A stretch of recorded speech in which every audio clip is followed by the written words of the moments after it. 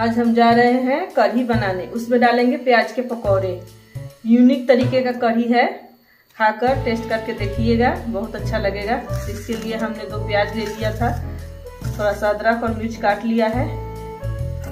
थोड़ा सा हल्दी और चटपटा के लिए थोड़ा ज़्यादा ही लिया है मिर्च। और इसके लिए लेंगे बेसन। डेढ़ कप जैसा बेसन लिया है। कढ़ी के लिए हमने ले लिया है बेसन, एक कप जैसा लिया है, दही दो कप लिया है।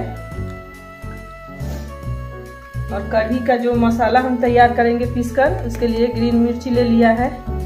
थोड़ा सा ये लहसुन है, एक गांठ जैसा है। नमक स्वाद अनुसार डालेंगे, इसके लिए नमक भी रख लिया है। और कढ़ी में हम डालेंगे, ये तड़का और हल्दी डालेंगे।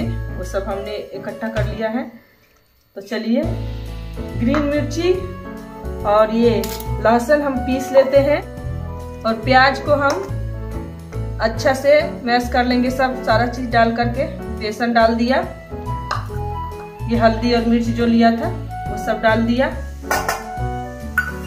स्वाद के अनुसार नमक भी डाल दिया।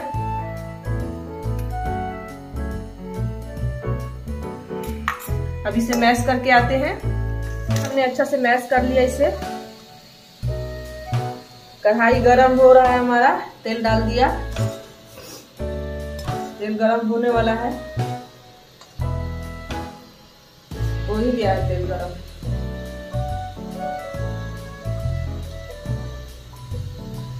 तो हम डालेंगे इसमें पकौड़े। इसमें ज़्यादा पतला करके नहीं डालेंगे, ज़्यादा मोटा भी नहीं रखेंगे मीडियम साइज़ का देंगे।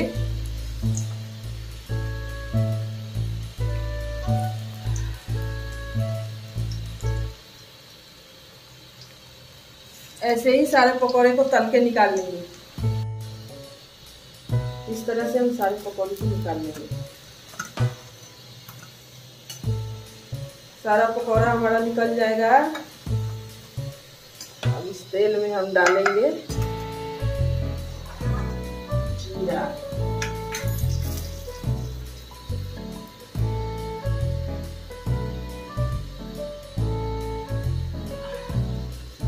हम डाल देंगे इतना।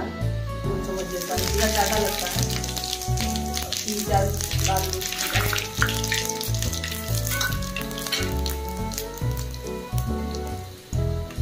कम मिर्च करके फोड़न देते हैं अच्छा लगता है।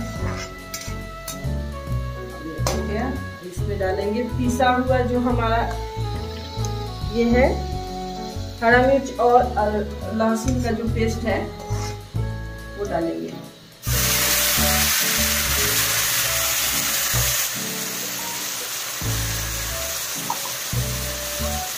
इसमें डालेंगे हम एक चम्मच जैसा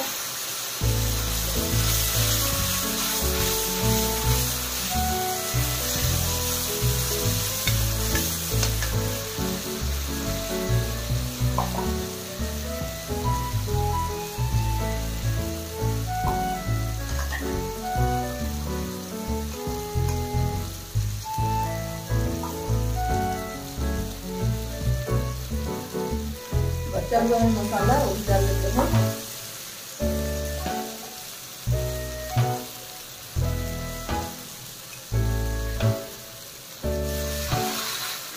अब ये जो बेसन हमने रखा था, वो कढ़ी बनाने के लिए एक कप जैसा है। इसको हम घोल बना लेंगे।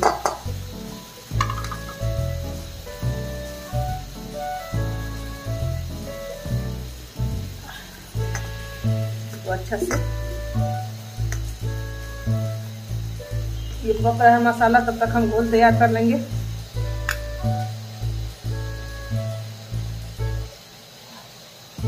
मसाला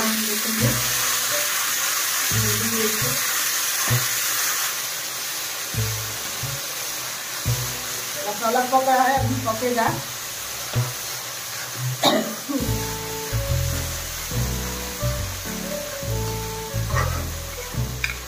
मसाला पक जाने के बाद इसमें डालेंगे बेसन।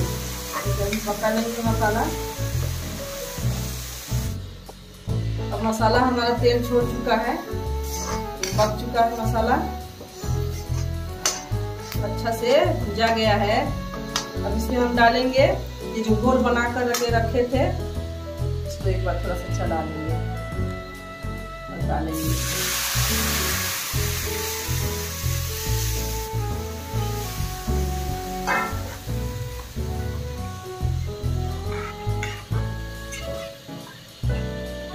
हमारा तरीका है बनाने का। अब भी बनाकर एक बार देखिए। यूनिक तरीका है हमारा। एक्सपेरिमेंट किए थे। बहुत टेस्टी लगा। हम सोचे आप लोगों को भी दिखाए बना करके। आप लोग भी बनाइए। प्याज के पकौड़े के साथ कढ़ी।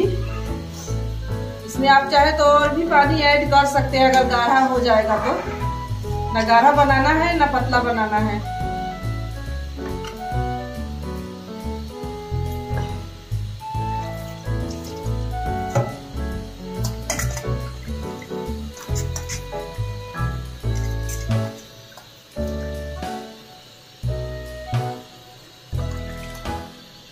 लग रहा है कि इसमें और पानी पड़ेगा। इसलिए थोड़ा सा हम पानी डाल रहे हैं। गाढ़ा होता जा रहा है। गाढ़ा होता जा रहा है।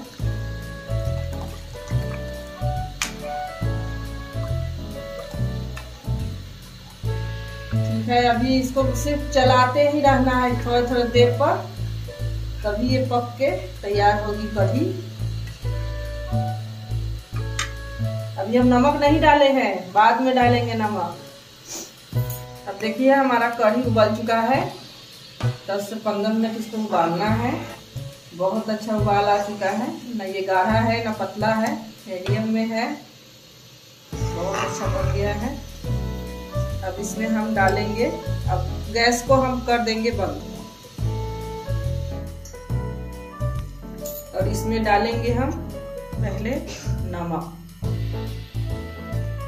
उतार देते हैं कढ़ी, तब बंद कर देते हैं गैस, तब हम डालते हैं कढ़ी में नमक। स्वाद के अनुसार अपना नमक डाल लेना है।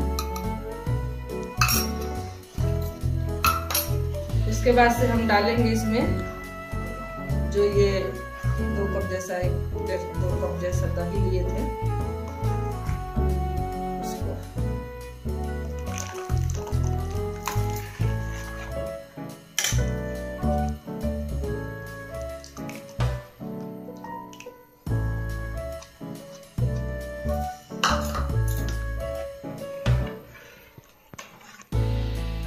अब इसमें ऐड करेंगे पकौड़े।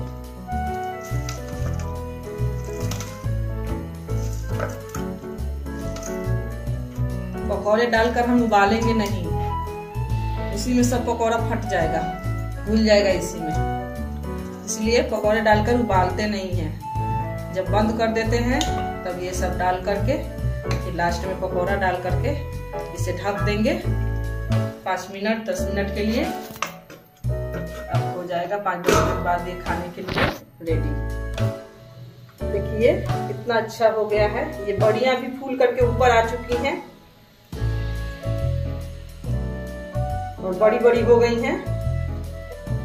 अब ये हो गया है तैयार। अब आपके लिए निकाल रही हूँ मैं एक बाउल में।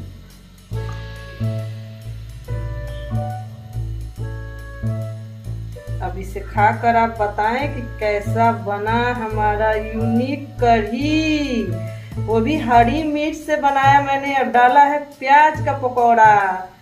ज़रूर आप खाएँ और हमें कमेंट करके बताएँ और हमें लाइक शेयर सब्सक्राइब करें ताकि हम और भी जो चीज़ बनाएँ वो आप तक पहुँचे। Thank you